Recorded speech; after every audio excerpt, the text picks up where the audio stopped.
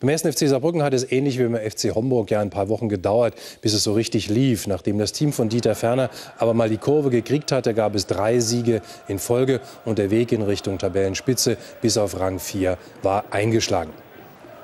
Mitte der Woche dann aber nach all diesen schönen positiven Ergebnissen ausgerechnet der Rückschlag gegen den direkten Nachbarn aus der Pfalz, den 1. FC Kaiserslautern, mit 0 zu 3.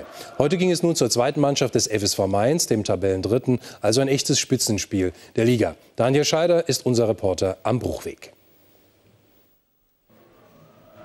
Kleine Änderung bei Saarbrücken im Vergleich zum Lautern-Spiel. Lukas Kohler rückt für den angeschlagenen Jonathan Südko in die Defensive. Außerdem bekam Marcel Schuck die Chance von Anfang an, weil Nico Weismann muskuläre Probleme plagen.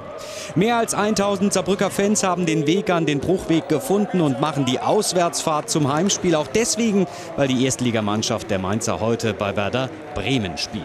FSV-Trainer Peter Neustädter mit einem Sieg gegen den FCS könnte er wieder Tabellenführer werden.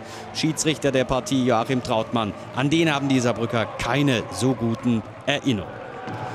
Saarbrücken mit viel Engagement in den Anfangsminuten versuchte das Spiel gegen Kaiserslautern aus den Kleidern herauszuhalten. Petri, einen Tick zu spät, Michael Petri. Der Stürmer beschwert sich da noch. Schauen wir noch mal hin. Schönes Zuspiel eigentlich von Zeitz und Petri donnert da aber auch mit voller Wucht in den Torwart hinein. Und der verletzte sich dann am Knie. Pierre Kleinhelder musste also ausgetauscht werden, bereits nach zehn Minuten. Stefan Steigerwald, der Ersatztorwart, musste also ran. Unser Brücken über Standards mit Nico Zimmermann. Petri steigt hoch, aber da war wohl noch ein Mainzer dran. Schauen wir noch mal genau hin. Der Freistoß von Zimmermann. Und Petri einen Tick zu spät. Konstantin Fring rettet in höchster Not. Saarbrücken mit dem Bemühen, den Ball lange in den eigenen Reihen zu halten. Das war ja der Knackpunkt im Lauternspiel. Da gab es leichte Ballverluste und dann stand mal teilweise offen in der Defensive. Das ist Gergic. Schön durchgesetzt hier und Foulspiel Mainz. Die wussten sich nicht anders zu helfen. Also Freistoß für den ersten FC Saarbrücken. Eigentlich eine Sache für Nico Zimmermann, aber diesmal legt sich Marcel Schuck den Ball zurecht. Und was für ein Kracher! Das 1 zu 0 in der 23. Minute durch Marcel Schuck. Wunderschönes Tor, gleichzeitig sein erstes in der laufenden Saison der ehemalige Freiburger. Und die Fans natürlich oben auf. Da schauen wir noch mal mit der Lupe hin. Marcel Schuck, den hat er haargenau getroffen. Und ich denke, keine Abwehrchance da für den Torwart der Mainzer. Marcel Schuck bringt seine Mannschaft mit 1 zu 0 in Front. Und Saarbrücken bemüht jetzt das zweite Tor nachzulegen. Die Stürmer wichen geschickt auf die Flügel aus. Gergic. Enorm wichtig als Arbeiter auf dem Flügel. Dann ist Zimmermann aus dem Hintergrund aufgetaucht. Ja, und jetzt brannte es schon lichterloh im Mainzer Strafraum. Stefan Steigerwald hatte jetzt richtig zu tun, der Mainzer Keeper. Nochmal Eckball über Nico Zimmermann. Und wieder wird's gefährlich. Nochmal ein Standard. Nochmal Zimmermann. Und diesmal klingelt's. 2-0 für Saarbrücken durch Manuel Zeitz, den Jungspund auf Seiten der Saarbrücker.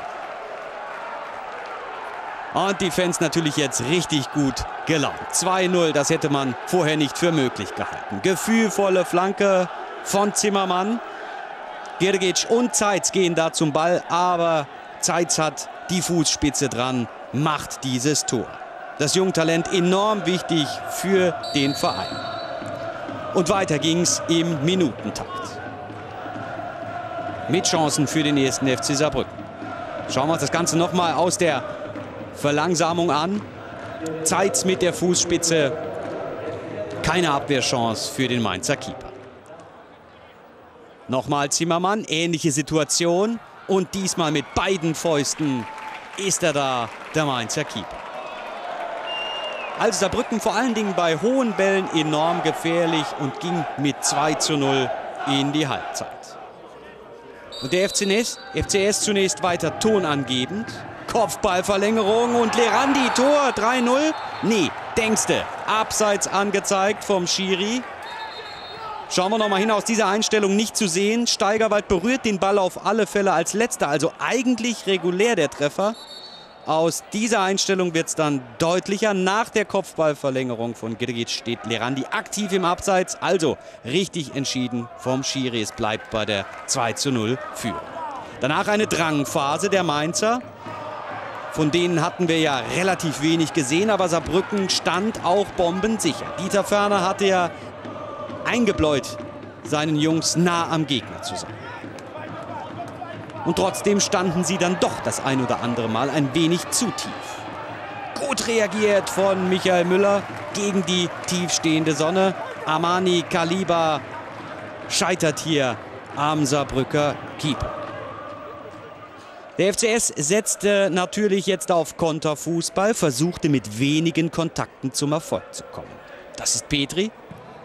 Gergic, was macht er denn da? Wie viele Chancen brauchst du noch? Irgendwann werden die Fans dann doch mal das Wort Chancentod in den Mund nehmen, wenn es so weitergeht. Aber es nutzt ja nichts. Mund abwischen, weiter ackern. Da ist er wieder. Velimir Girgic. Das muss es doch sein. Und diesmal ist es das auch. 3 zu 0 für den ersten FC Saarbrücken durch Velimir Girgic. Na, endlich ist die Negativserie durchbrochen. Das erste Tor des bulligen Stürmers. Wie lange hat er darauf warten müssen? Und die Fans jetzt natürlich völlig aus dem Häuschen. Viele hatten hier beim Tabellendritten mit einer Niederlage gerechnet und jetzt so eine Leistungsexplosion. 80. Minute 3 zu 0 für den ersten FC Saarbrücken und Durchatmen angesagt. Natürlich auch bei seinem Coach, der in den letzten Wochen trotz massiver Kritik an Girgic festgehalten hat. Sein Team hat noch nicht genug. 82. Spielminute. Freistoß und wieder klingelt's. 4 zu 0. Diesmal durch Nico Zimmermann und der lacht sich eins, denn da war viel Glück mit dabei. Sei es drum, auch für ihn das erste Saisontor der ehemalige Elversberger. Zimmermann packt mal wieder den Hammer aus. Aber wir sehen es deutlich. Marco Rose auf Mainzer Seite, der gibt dem Ball die entscheidende Wendung. In den Schlussminuten hätte der FCS das Ergebnis noch weitaus höher nach oben schrauben können, aber es blieb auch so letztlich beim hochverdienten Sieg und man fragt sich, wie die schwache Heimvorstellung gegen Kaiserslautern und die Leistung heute zusammenpassen. Ich muss einfach sagen, am Mittwoch sind wir gar nicht ins Spiel reingekommen. Aus welchen Gründen auch immer, weiß man nicht. Zwei Tage später waren wir von der ersten Minute an da, haben vor allen Dingen die Mainzer sehr früh zu langen Bällen gezwungen. Das kam uns entgegen und dann äh, haben wir natürlich ein wunderbares Freistoßtor äh, gemacht und äh, der zweite Tor war auch vom Freistoß. Da gehen wir mit 2-0 in eine Pause und dann spielt man natürlich ganz anders auf. Nach neun Spieltagen, erster Tor, ist, es war ein bisschen zu wenig für mich. Jetzt hat Knoten geplatzt hoffe weiter treffe ich jetzt. Wir haben halt alle elf Mann, die auf dem Platz gestanden, plus Auswechselspieler, alle an einem Strang gezogen. Das war dann auch das Geheimnis vom Erfolg. Fans und Mannschaft haben wegen des vorgezogenen Lautern-Spiels jetzt erstmal eine kleine Pause in der Liga, dürfen durchschnaufen. Für Dieter Ferner und sein Team Gelegenheit, Blessuren zu pflegen und sich auf den Saarland-Pokal vorzubereiten. Roman Bonner, bitte. Wobei das alle am gleichen Strang ziehen, das äh, sollte eigentlich kein Geheimnis sein, sondern das sollte eigentlich bei jedem Spieltag der Fall sein. Glückwunsch zu diesem deutlichen Erfolg. Das wirkt sich auch in der Tabelle aus. Und wir schauen zunächst mal auf die Ergebnisse.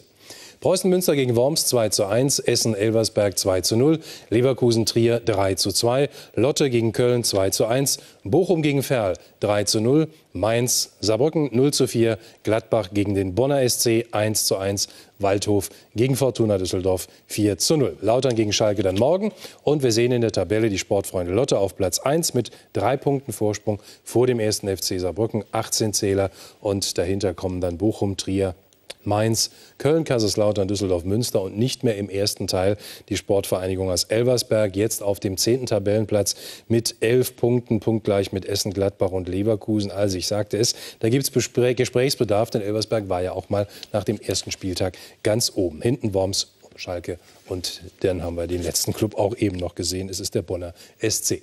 Das Tor des Tages heute für uns hat ganz klar geschossen Marcel Schuck. Es war das 1 zu 0 für den 1. FC Saarbrücken beim FSV Mainz. Mehr Sport gibt es gleich in Aktuell und wir zeigen Ihnen auch gleich, was Sie morgen in der Sportarena erwartet. Herzlichen Dank, dass Sie zugeschaut haben. Bleiben Sie uns treu. Bis zum nächsten Mal. Schönen Abend noch. Tschüss.